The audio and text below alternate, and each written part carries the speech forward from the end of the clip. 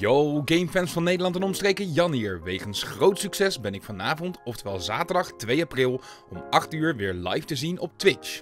Met een nieuwe Pokémon Nuzlocke. En dit keer geef ik er een speciale twist aan, dus dit wil je echt niet missen. De chat opent iets voor 8 uur, dus zorg dat je er op tijd bij bent. En dan zie ik jullie vanavond bij Cortex Live.